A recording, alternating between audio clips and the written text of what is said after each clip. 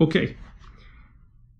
Okay, so Burger King, that name is so bloody complicated. It, it took me like three months of non-stop thought to figure this out. Well, you look at it and you can say pretty confidently, king. That's actually an instantiation of a patriarchal mode of being, isn't it? It's like that's the typification of a fatherly figure that exists at the top of all possible dominance hierarchies.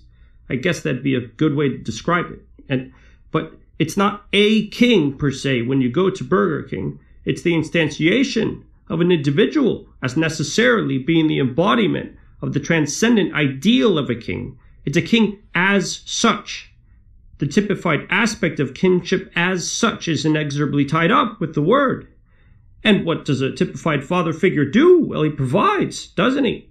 He provides food and, and shelter and burgers. Well, yeah, that's bloody well right. It's a king who provides burgers. Ex- exactly.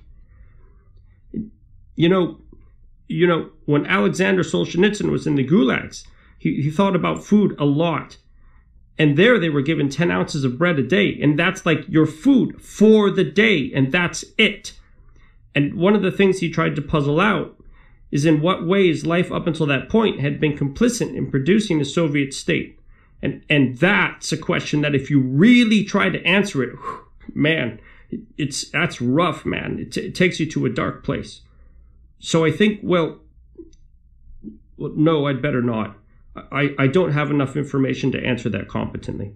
All I can say right now is the degree to which we preside to patronize fast food restaurants that, that aren't instantiations of a sovereign ideal, it may have a bigger effect than we think. You know, the world's a funny place and it's a lot more connected than we understand. And well, yeah, that's that's all I can say about that right now.